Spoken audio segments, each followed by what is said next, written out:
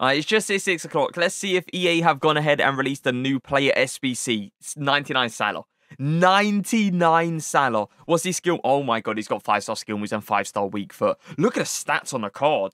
The card looks disgusting. The shooting stats look incredible. The pace looks incredible. The dribbling stats look incredible. Passing looks amazing. He's even got 88 strength as well. Both shooting traits here. Finesse shot trait, outside foot shot trait, flare passes.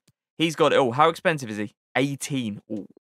18 teams. So yeah, like the FUT birthday, FUT fantasy, FUT captain. Two 92s. I'm pretty sure Neymar only had one 92. How many 91s? Four? Yeah, four 91s. Four 90s, it is an 89, an 88, an 87. It's expensive. It's very expensive. But he looks unreal. I cannot believe they gave him 5 5. Five star skill means five star weak foot Salah.